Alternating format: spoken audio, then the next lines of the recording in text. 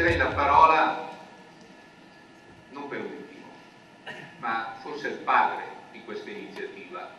la persona che con le sue pazze idee qualche volta ne inventa sempre una e ha iniziato a riflettere su questa situazione e a proporre questa campagna. È stato detto che questa è una campagna che vuole riuscire ad ottenere un riconoscimento, quello del premio Nobel per la pace, alle donne africane nella loro totalità.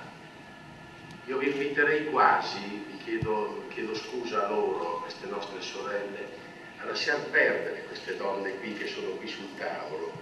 perché loro in fondo sono conosciute, vengono in giro, viaggiano per il mondo, eccetera. Vi inviterei a pensare alle miriadi di donne africane senza nome, senza storia, che, non, che pare che non esistano, ma che sono quelle che davvero reggono il continente africano.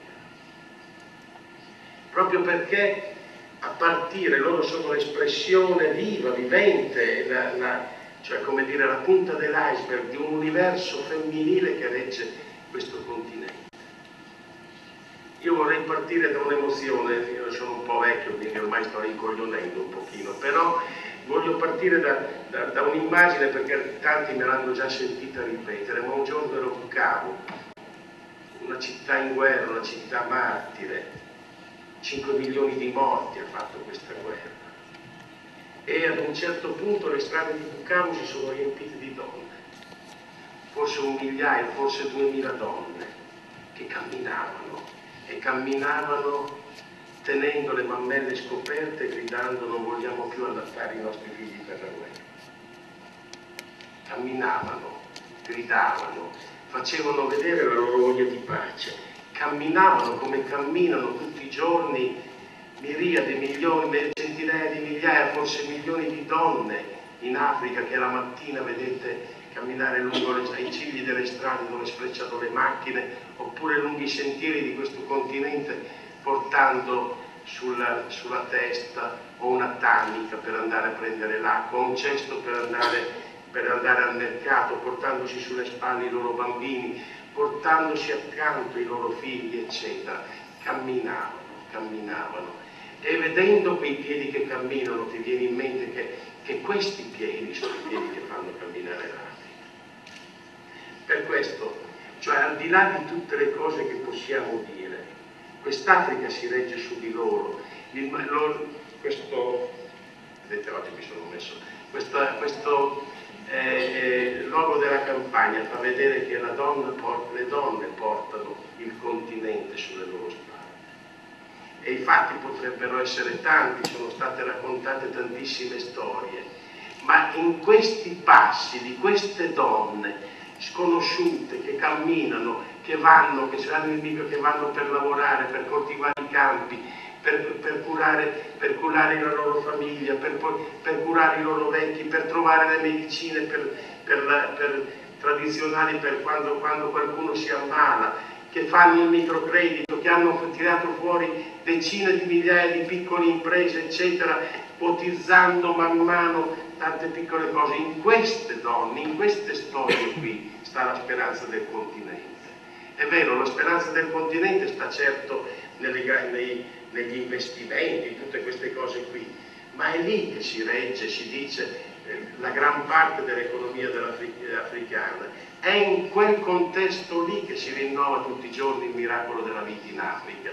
E lei diceva, noi siamo le combattenti per la vita, siamo le combattenti della vita.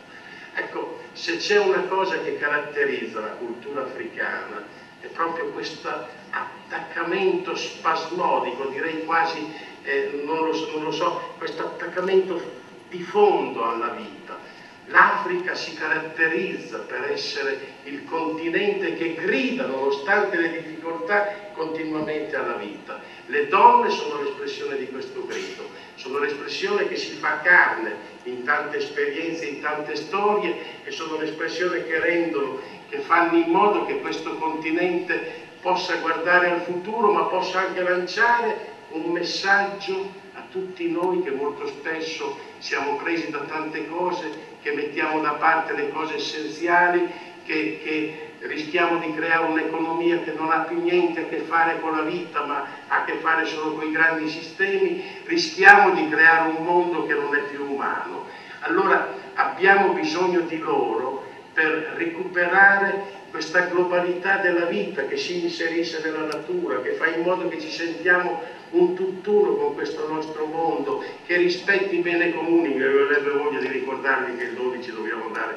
a votare per il referendum per l'acqua, anche se siamo in un, in un, ambito che forse non è il caso di dirlo, però mi pare che potremmo dire, cioè, proprio perché insieme noi riusciamo a costruire un mondo dove, dove riusciamo a trovarci meglio